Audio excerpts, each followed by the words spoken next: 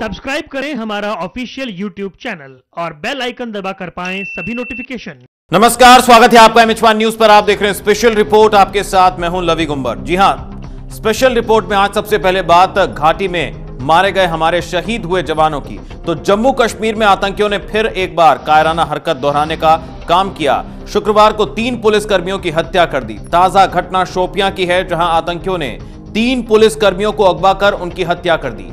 बीते कुछ दिनों से घाटी में आतंकी लगातार पुलिसकर्मियों को मार रहे हैं और यह सिलसिला करीब दो साल से जारी है।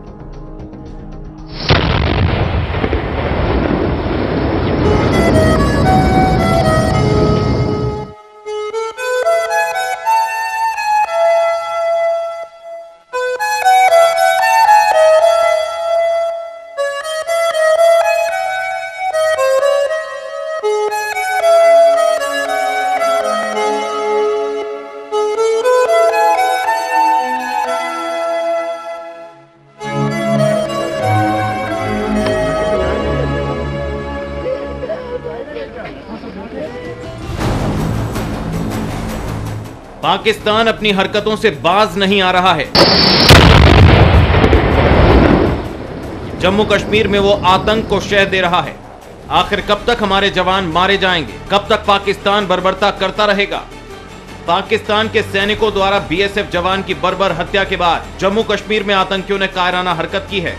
भारतीय सेना और पुलिस के ऑपरेशन से बौखलाए दहशत गर्दों ने शुक्रवार को शोपियाँ ज़िले में तीन पुलिसकर्मियों को अगवा कर उनकी हत्या कर दी। पुलिस कर्मियों के सर्च ऑपरेशन के दौरान तीनों शव कापरन गाँव से एक किलोमीटर दूर, वागम क्षेत्र से मिले। पुलिस ने मृतकों की पहचान कांस्टेबल निसार अहमद और दो special police officer Firdous Ahmed और कुलवंत सिंह के रूप में की है। पुलिस ने बताया कि बतागुंड गाँव के लोगों ने आतंकियों का पीछा किया और उनसे पुलिस कर्मियों को अगवा नहीं करने की अपील की, लेकिन आतंकियों ने हवा में फायरिंग कर गाँव वालों को धमकाया। गाँव वालों ने बताया कि आतंकियों ने इलाके की नदी पार की और पुलिस कर्मियों को गोली मार दी। निसार अहमद आर्म्ड पुलिस के साथ काम कर रहे थे। आतंकियों ने एक पुलिस कांस्टेबल के भाई को भी अगवा किया था, लेकिन बाद में छोड़ दिया। कश्मीर जोन पुलिस ने ट्वीट कर तीनों पुलिस कर्मियों को श्रद्धांजलि दी है। कश्मीर पुलिस ने अपने तीन बहादुर जवानों की हत्या की निंदा करते हुए इसे अमानवीय कृत्य कहा और कहा कि दोषियों को बख्शा नहीं जाएगा। एक्ट इस तरह के जो तीन लोगों को तीन हमारे कोलीग हैं जिनको जिनकी शहादत रही है और आपने जैसे देखा उनका रेतलिंग यहाँ पे हुआ। हमें अश्योर करते हैं कि जो इनका जो जो कानून के दायरे में जो भी होता है that action we will take and also it is it is a very unfortunate incident we thank the people also some of the people who came forward and try to protect these boys. So at this stage we can only tell you the investigation is on and we shall bring uh, we shall bring the accused to the justice.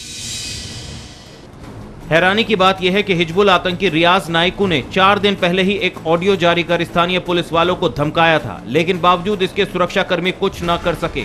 धमकी देने वाले आतंकी ने police और सेना की नौकरी छोड़ने की धमकी देते हुए नौकरी छोड़ने का सबूत इंटरनेट पर अपलोड भी करने को कहा था।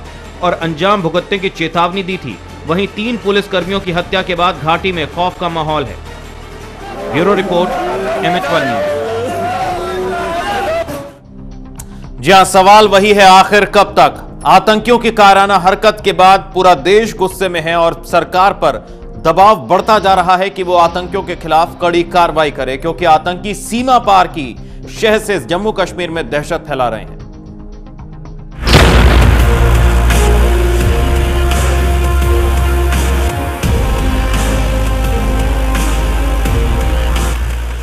जम्मू कश्मीर में तीन पुलिस वालों की हत्या के बाद लोग गुस्से में हैं। आतंकवादियों की इस काराना हरकत को लोग दहशीपन करार दे रहे हैं और इसके पीछे पाकिस्तान की साजिश बता रहे हैं।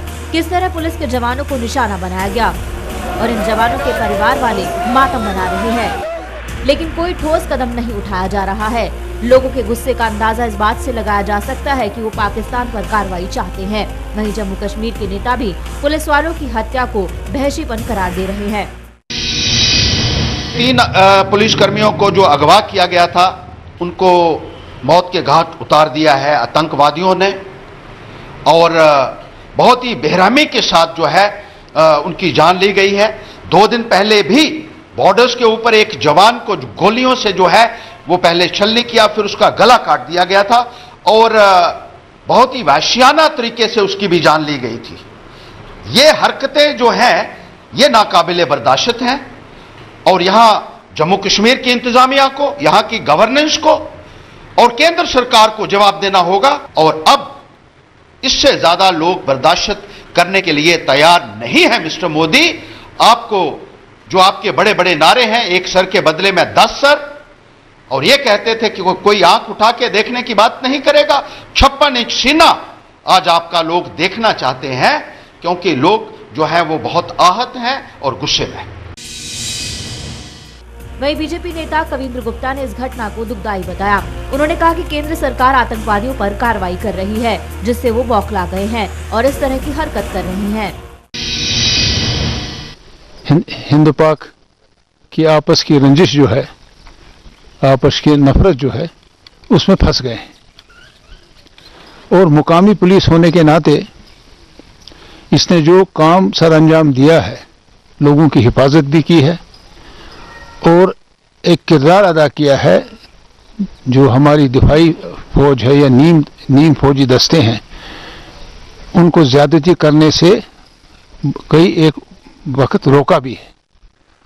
और इस इस सिलसिले में उन्होंने इनसे दुश्मनी भी ली है, क्योंकि उन्होंने इनके खिलाफ एफआईआर दर्ज किए हैं।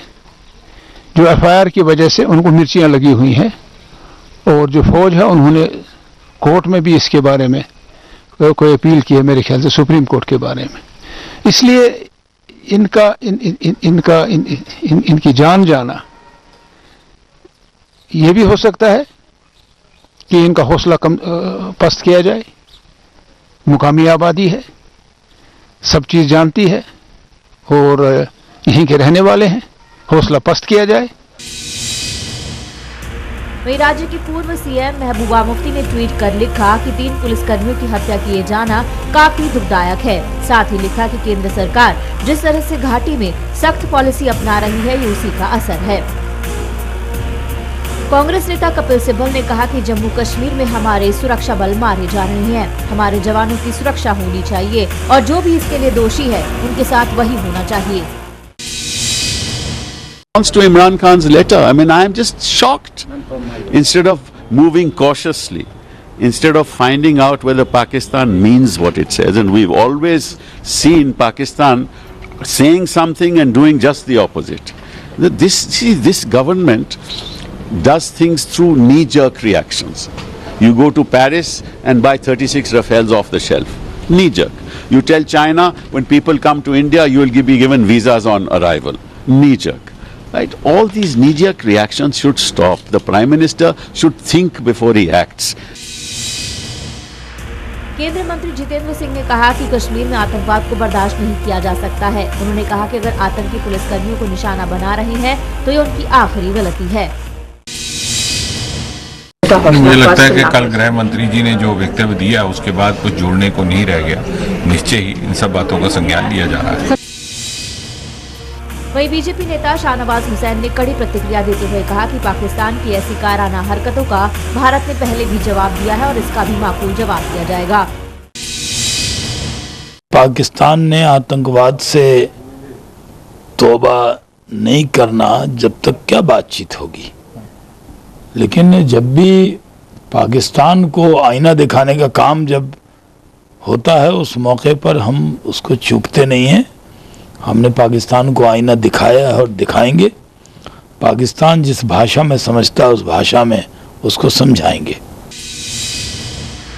पाकिस्तान बार बार कायराना हरकत कर रहा है। ऐसे में पाकिस्तान के प्रधानमंत्री इमरान हुसैन की चिट्ठी के बाद विदेश मंत्री स्तर की जो बातचीत होने वाली थी, उसे भारत ने रद्द कर दिया है। कहा जा रहा है कि पाकिस्तान के दोगले चेहरे की वजह से भारत ने कदम उठाया है। Bureau report, M news.